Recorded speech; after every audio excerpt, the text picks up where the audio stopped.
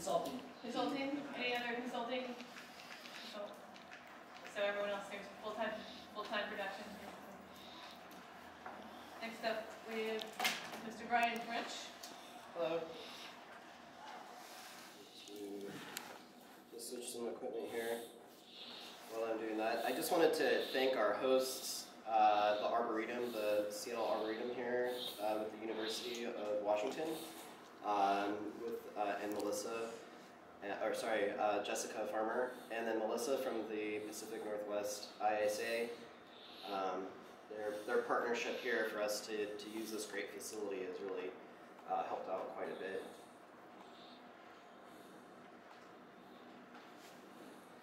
So, I would like to talk about the seven P's of the climbing arborist. Um, how many climbers do we have in this room? Pretty much everyone. That's why we're here, right? Um,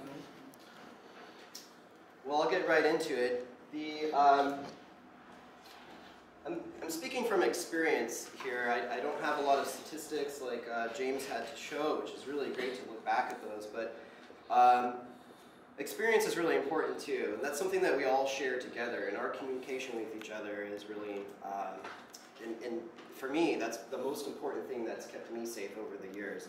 I don't have to knock on wood um, necessarily because I'm not I'm thankful of the people that I've been able, and I appreciate the people I've been able to work with over the years, um, because of their professionalism and their safety culture. That's really who's trained me, and, and I think those those individuals who have um, kept me from becoming a statistic, as, as James mentioned. So, uh, well, I'll just name them real quick. So, proper planning and preparation prevents piss poor performance. All right, that's been on for a long time. It's seven P's. Uh, the British uh, military and the U.S. military used that adage for many years, which is really just goes back to experience and finding ways to keep um, us from getting into situations that may get us into an accident eventually or an incident. Proper I like to think of this as professionalism, our professionalism, who we are. It's smiling, uh, confidence, um, and how, how we treat one another, kindness, empathy. Uh, these are the things that I think are really uh, important, not only on the job site, but with our clients. Um, and it's a way to show competence. Um, also, being empathetic to those or helping those in need of help, younger climbers, and then maybe maybe really getting onto the folks who know better that might cause harm knowingly or put other ones in harm way. It's it's our responsibility to call people out. That's that's what's kept me um, when I think about how I haven't I've never fallen out of a tree. I haven't um, I haven't been hospitalized from an injury, and I'm just speaking from experience. It's because people have called me out in the past. That's how I learned. And other people have showed me how to be a better arborist. And then we'll get to our next one here planning. To me, this really has to do with organization. How organized are we? When we're talking about organization, on the job, I, I usually go back to, well, how did the estimate start? Who did the estimating? Have you ever got to the job for a removal, walked around the backside of the tree, and realized that there's a giant cavity on the backside of the tree and had to call into the shop and say, hey, we might have to change plans here. And then maybe the, the shop is like, we'll just deal with it. And then you have uh, a lot of pressure to like come up with a solution to make the job. Has anybody experienced anything like this ever before? Organization and, and, and good planning can keep those situations from happening.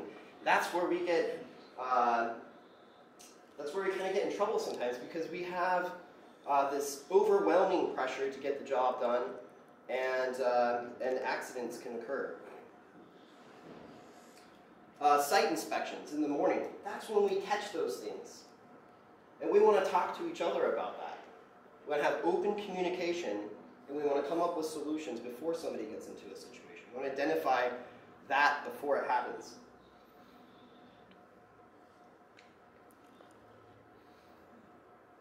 Preparedness.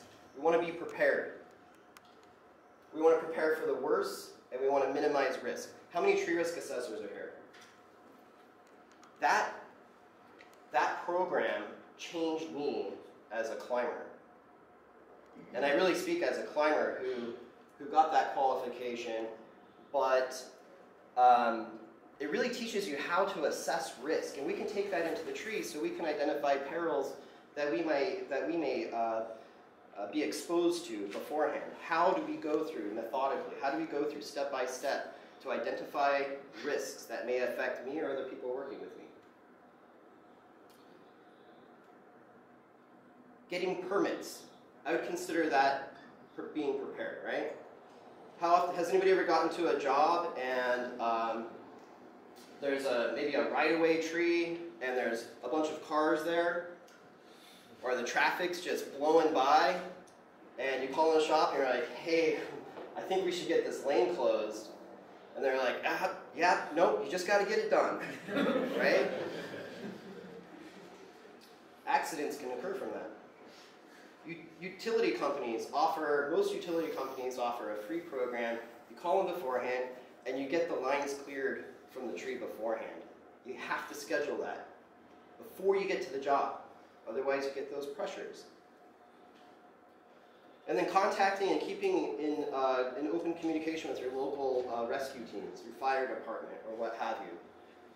Go ahead and call them. Let them know I'm going to be down at this site in two weeks. We have a huge uh, crane removal, Dan, a big crane removal, and um, and it looks like a, a, pretty dangerous situation. There's a crack. It's right next to the house. We've got this awesome climber. Um, but we'd like to we'd like you guys to stop by. I've done that before. Has anybody done that before? Yeah? One of the things I'd say is in our area, we are on the emergency response team, which is kind of the opposite direction of what you're talking about. So the Albany and Corvallis Fire and Rescue Department have us on speed dial because a lot of times there's out of reach of ladder trucks and stuff. And so once uh, every other year we go there and we have one training session with them and tell them what we can do, what we carry, and that we're there for them if they've ever needed us. Thank goodness in the last 12 years they've never needed our services, but uh, it's also a good thing to do with your uh, fire and rescue. Thank you, Vernon.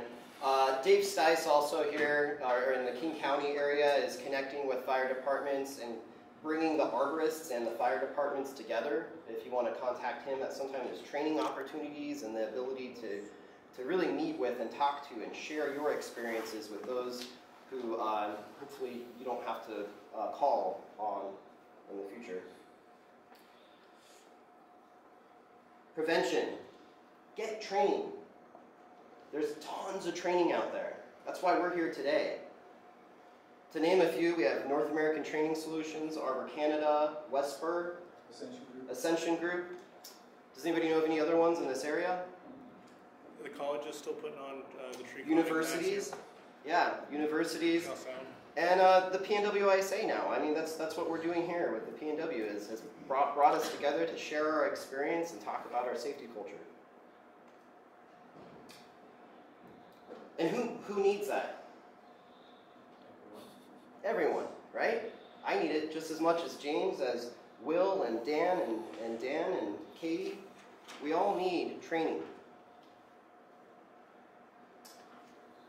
And one thing that's kind of cool that I, I, I just have to mention is that this, this program, this program sold out today. That's huge, is that right? There's like 70 people, right? So that's to me that's testimony. That's like, okay, people are showing up, we're talking about training, this is awesome. We need to do more of this. We need more of this in our community. Who agrees with me there? Very Cool. Piss. Has anybody has anybody uh, had to go to the bathroom really bad, and you're trying to put a throw ball in the tree, and you just can't focus? It's like, oh man, like I really, you know, where am I going to go? Has anybody experienced that? Or you get up to the top of the tree, you're getting ready to, you're putting your face cut in, you're about ready to blow that top out, and oh god, like I really, I, I can't I can't descend out of the tree now. It's gonna, gonna take me a half an hour to get back up here. Focus. We need to be able to focus on our work. And so, if we're working in a site where we have all kinds of distractions from others around us, um, a, uh, the, the manager of the job or somebody screaming at us, ah, blah, blah, blah, blah, blah, and you're, you're just like, I'm just going to cut this thing. You're not focusing on your work, right? Um, and that even goes back to, um, you know, with, with our focus, uh, you know, the fatigue. One of the things I've noticed, is anybody read TCIA um, and read the, the accident reports? Have you noticed that fatigue comes up often? It's not, it doesn't clearly, it's not something you just put your finger on and be like, that's fatigue and that's not. But it's all, almost every situation when somebody's talking about the experience, this horrible experience that they had, they talk about not being focused and, uh, and fatigue comes up. Distractions. Finally, our health. Uh, a friend of mine, Ed Carpenter, he wrote uh, uh, an article in the Arbor News a couple, a few years ago about us being um, climbing athletes. We're, we're arborists, but we're these climbing athletes. We're athletic. We need to take care of our bodies the way athletes do. We need to stay hydrated. We need to eat good food. We need to um, be healthy and have healthy minds and take care of one each other, of one, each, of one another, uh, at our at our work sites. And remember to take breaks. Breaks are awesome. When you get tired, even just like a two minute, just sit down and breathe for two minutes. Two minutes can, can last hours of work later. It can really, really be effective. So I had one more performance. Gear, your gear, right? This goes back to organization and some of these other topics, but our performance depends on the quality of our gear. Where do we get gear? Wesspur, Vermeer, gear retailers. They have um, a lot of information out there about where we can get, what kind of gear we can get, how does it work, what are the, the, the, specifications on how it works, how it behaves with each other. You can find a lot of information out. There's online training. Uh, Climbing Arborist is a one-stop go-to online training place that you can get good training. Facebook. We'll talk about Facebook maybe a little bit later. Um, and uh, understanding our cycles to failure. What does our gear look like? When do we need to toss it out? We need to communicate with each other and share our experience. This worked good, this didn't work. And when we're trying out our gear, we want to start low and slow. My friend Will here, he's always telling everyone that start low and slow. I have seen people um, in incidents where they got some new gear, they ran halfway up the tree, and they got in trouble. You want to know your gear before you're using it. And I have two tips before I close. Please use your lanyard. Tie in twice. It's huge. A friend of mine fell recently in Portland, uh, local arborist, um, and it's just it's just another uh, case with without the, the flip line. So please tie in twice when using a chainsaw. And when you are using a chainsaw, keep two hands on the chainsaw. Thank you.